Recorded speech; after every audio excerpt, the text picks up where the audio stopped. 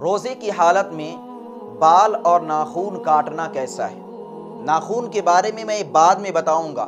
उससे पहले बाल के बारे में आप सभी हजरात को बता देना चाहता हूँ कि इंसान के बदन में तीन किस्म के बाल हैं।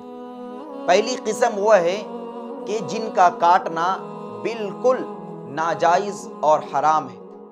दूसरी किस्म वह है कि जिन बालों का काटना ज़रूरी है, वाजिब है, अगर आप नहीं काटेंगे तो गुनहगार होंगे। और तीसरी किस्म के वह बाल हैं कि जिन बालों के काटने और ना काटने पर शरीयत खामोश है। तो पहली किस्म, कि जिन बालों के काटने की इजाज़त शरीयत नहीं देती, कि जिन बालों का काटना नाजायज़ और हराम है, वह है दाढ़ी के बाल। कि दाढ़ी रखना मर्द के लिए वाजिब है, ज़रूरी है। अब अगर कोई शख्स रमज़ान के मुबारक महीने में रोज़े की हालत में दाढ़ी के बाल साफ़ करता है या करवाता है तो ये गुनाह का काम है। और इस अमल की वजह से आपका रोज़ा मकरू हो जाएगा। क्योंकि रोज़े की हालत में आप कोई भी गुनाह का काम करेंगे तो आपका रोज़ा मकरू होगा। तो आप रोज़े की हालत में अगर दाढ़ी के बाल साफ़ करते हैं या साफ़ करवाते हैं तो इस सूरत में आपका रोजा मकरू हो जाएगा। दूसरी किस्म के वबाल के जिन बालों पर शरीयत खामोश है कि आप चाहें तो काटें और चाहे तो ना काटें।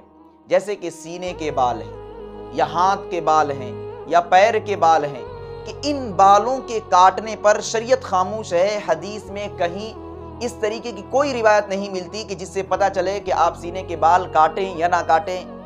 बदन के बाल काटे, हाथ के बाल काटे या ना काटे। तो इस पर शरीयत खामोश है। अब आपको इख्तियार है, आप चाहें तो उन बालों को साफ़ करें और चाहें तो ना साफ़ करें। लेकिन इसके अंदर थोड़ी सी तफरीक है थोड़ा सा फ़र्क है मर्द और औरत में, कि मर्द की खूबसूरती सीने पर बाल रखने में है और औरत की खूबसूरती सीने के बाल को साफ़ करने में है। अगर किसी खातून, किसी औरत के बदन पर जायद बाल नज़र आ जाए या सीने पे बाल निकल आए तो ऐसी सूरत में हुक्म यही दिया जाएगा कि वह उन बालों को साफ़ कर ले तो उसके लिए बेहतर है। लेकिन अगर कोई मर्द अपने सीने के बाल साफ़ करे तो उसकी मर्दानगी के खिलाफ है। बेहतर यही है कि उन बालों को ना साफ़ करें, क्योंकि मर्द का तकाजा यही है कि बदन पे जो बाल हों, सीने पे जो बाल हों, उन बालों को छोड़ दिया जाए। लेकिन अगर काट ले, साफ़ कर ले तो वह शख्स भी गुनहगार नहीं होगा।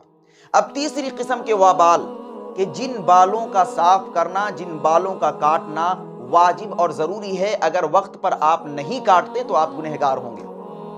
वह है बगल के बाल और जेर नाफ के बाल। चालीस दिन तक अगर कोई शख्स बगल और जेर नाफ के बाल को साफ़ नहीं करता, नहीं काटता तो फिर ऐसी सूरत में वह शख्स गुनहगार होगा। इस हालत में अगर वह नमाज़ भी पढ़ेगा तो उसकी नमाज़ मकरू हो जाएगी।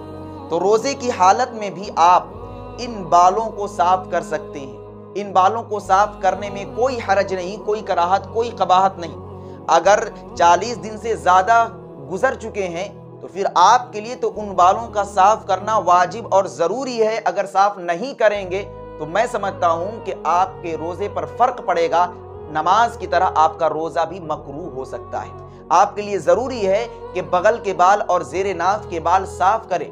रोज़े की हालत में भी आप उन बालों को साफ़ करते हैं तो आपके रोज़े पर किसी तरह का कोई फ़र्क नहीं पड़ेगा। लेकिन एक बात जहन में रहे कि कोई शख्स जेर नाफ के बाल साफ़ कर रहा है रोज़े की हालत में और ऐसी सूरत में उसकी शहवत भड़क रही है वह भटकने लगता है और फिर अपने अजब मखसूस से खेलने लगता है, लुत्फ और मज़ा लेने लगता है तो इस अमल की वजह से कहा जाएगा कि आपका रोज़ा मकरू हो जाएगा। और कोई शख्स ऐसा है कि जिसको डर और खौफ है कि अगर मैं उस बाल को साफ़ करूँगा तो भटक सकता हूँ, शहवत की वजह से फिसल सकता हूँ तो उस शख्स के लिए हुक्म यह है कि आप उन बालों को, यानी जेर नाफ के बालों को आप रोज़े की हालत में ना साफ़ करके, आप रात के हिस्से में आप उन बालों को साफ़ करें। अगर आपको डर और खौफ है, अगर डर और खौफ नहीं है, आपको अपने ऊपर बिलीव है, कंट्रोल है कि मैं उन बालों को रोज़े की हालत में भी साफ़ करूँगा और शहवत का थोड़ा सा भी डर नहीं है तो फिर आप उन बालों को बिल्कुल रोज़े की हालत में साफ़ कर सकते हैं। साफ़ ही क्या कर सकते हैं? आपको साफ़ करना चाहिए। अब रहा मसला नाखून काटने का। बहुत से लोग सोचते हैं कि अगर मैं नाखून काट दूँ तो फिर रोज़े के अंदर फ़र्क पड़ जाएगा। नाखून का भी रोज़ा होता है। कुछ लोग सोचते हैं कि बाल का भी रोज़ा होता है। तो देखिए, ऐसी कोई बात नहीं है। आप रोज़े की हालत में आप नाखून भी काट सकते हैं। बहुत से लोगों को देखा जाता है कि नाखून बड़े बड़े हो जाते हैं, उसके अंदर गंदगी जम जाती है, बैठ जाती है।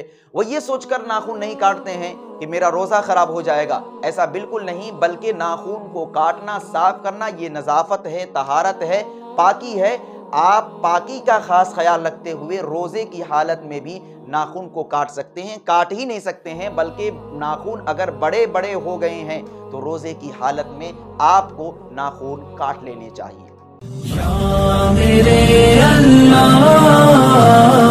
Thanks for watching. Don't forget like, comment, share and subscribe to Mufti Haq Kasmi.